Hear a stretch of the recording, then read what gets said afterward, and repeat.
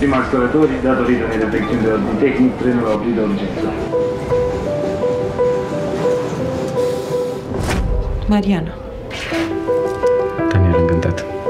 Primul film inspirațional românesc în cinematografele din Brașov și din țară. Coborâm la prima va fi oferit pentru prima dată publicului în orașul de la Poalele Tâmpei. Actori consacrați sunt protagoniștii peliculei care prezintă povestea unor călători aflați într-un vagon de metrou care se oprește întâmplător între stații, chiar în dimineața de după incendiul din clubul colectiv o distribuție excepțională, Bebe Codimanis, Adrian Păduralu, împreună cu Teodora Marăș, un cuplu pe care mi l-am dorit foarte tare. Avem de-a face cu o poveste pozitivă care ne ajută să înțelegem mai bine și să ne bucurăm de ce sunt pe aici, de ce avem oameni în jurul nostru. Orice debut este emoționant, Nicula este la debutul lui în lungmetraj, dar e un film cu emoție, cu o emoție sinceră, uh, vorbind despre esențele noastre, dincolo de aparențele la care de obicei ne oprim. Filmul